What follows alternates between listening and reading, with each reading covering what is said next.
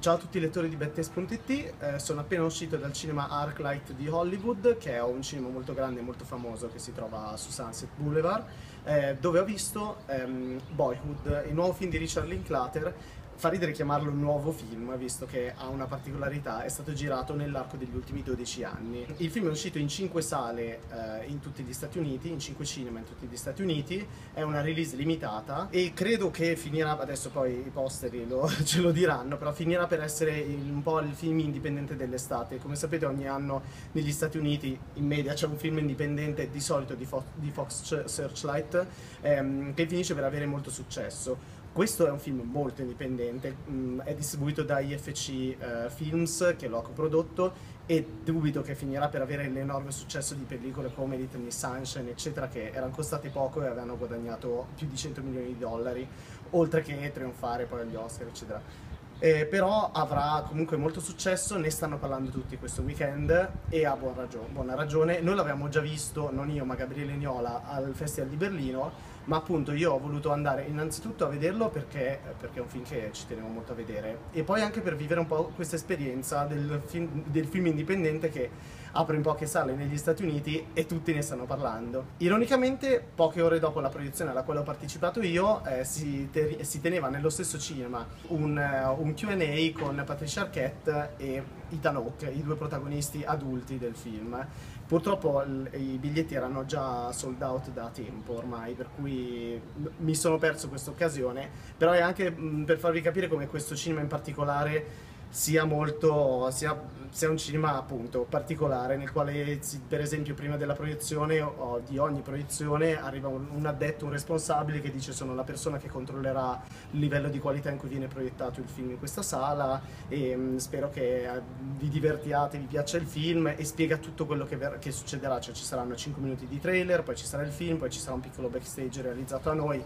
un'esperienza cinematografica davvero interessante che ti fa venire voglia anche di abbonarti. Comunque, per tornare a Boyhood, è un film che è incredibile. Mm, è, è, incredibile nel senso che è un film completamente diverso da, da, qualsiasi film io abbia mai visto in vita mia, principalmente per l'idea, per l'idea in sé di girare questa pellicola in 12 anni. È molto realistico, ma è realistico per questo motivo, nel senso non c'è make up, non ci sono effetti di invecchiamento negli attori. Ethan Hawke invecchia in 12 anni, Patricia Arquette cambia molto in 12 anni e la cosa più incredibile sono i ragazzini, i due, il bambino protagonista e sua sorella, che crescono letteralmente nell'arco dei 12 anni e mh, si evolvono. Il film in sé è la storia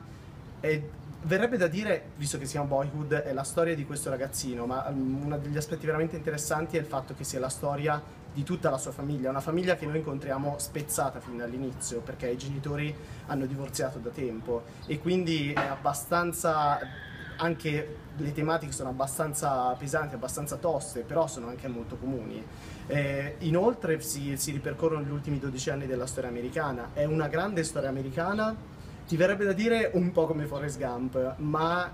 chiaramente è un, un, film completamente diverso. È una piccola storia, la storia di un ragazzino qualunque, eh, che però vive quello che l'esperienza collettiva americana eh, vive appunto nella sua giovinezza, cioè eh, va, cambia, cambia, di città a città. Io sono qua da due mesi e, e, ho conosciuto parecchi americani che mi hanno raccontato di essersi trasferiti chissà quante volte nella loro vita. È una cosa che per noi italiani è molto, molto difficile da capire perché adesso non so i nostri lettori, però io non è, che so, non è che ho traslocato molte volte nella mia vita, mentre per gli americani è assolutamente normale. E così come appunto l'esperienza del divorzio, l'esperienza dell'alcolismo populismo, eh, l'esperienza per esempio anche dal punto di vista politico, le elezioni come momento collettivo di, anche di schieramento e di divisione, ehm, così come l'avvento del, del college che poi è un po' l'esperienza conclusiva di questo film.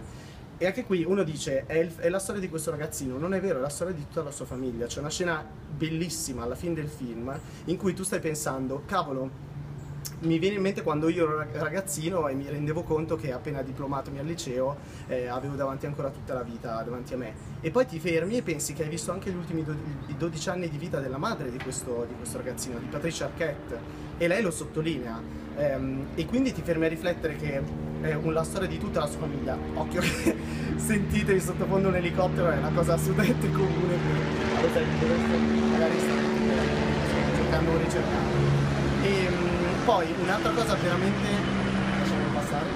un'altra cosa veramente interessante in questo film